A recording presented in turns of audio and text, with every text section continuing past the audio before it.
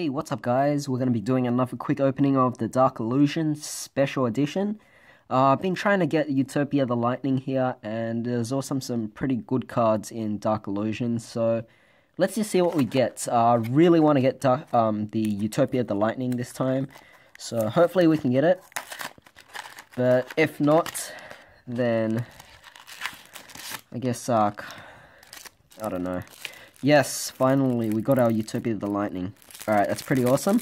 Hopefully we can get the other Subterror card, which is way better than the Spiral card. Uh, so yeah. Awesome. So we got these two. These are the best promos, actually, uh, compared to the other two disappointments.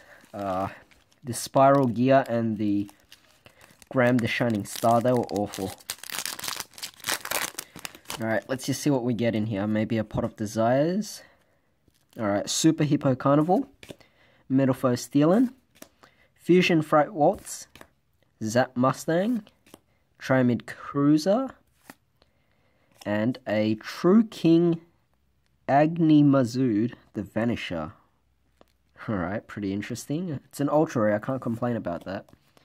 Uh, Black Dragon Ninja, Magician's Robe, and Magical Mid-Breaker Field. Alright, next pack. Alright, let's see what we get in here. Paleozoic Canadia. Dragotes the Empowered Warrior. Card of the Soul. A rare Triamid Hunter. And... Okay, a Super Triamid Sphinx. Uh, it's a pretty interesting archetype, the Triamids.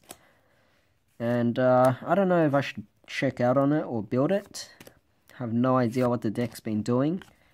Uh, but yeah, I mean, it seems pretty interesting considering the cards in here.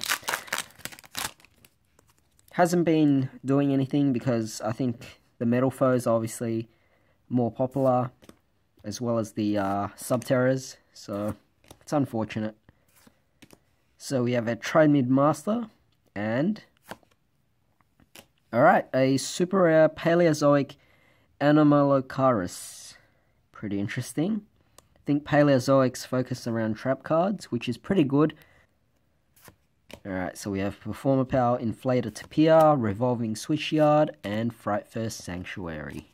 Alright, so I hope you guys enjoyed that. I uh, definitely got my uh, money's worth out of this, because obviously I got my Utopia the Lightning, really awesome. Got the Subterror Nemesis Warrior, um, and a few decent cards over here as well, so I guess that's not too bad. Um, probably going to get more of these. These are really good. So yeah, I hope you guys have a great day. I'll see you next time.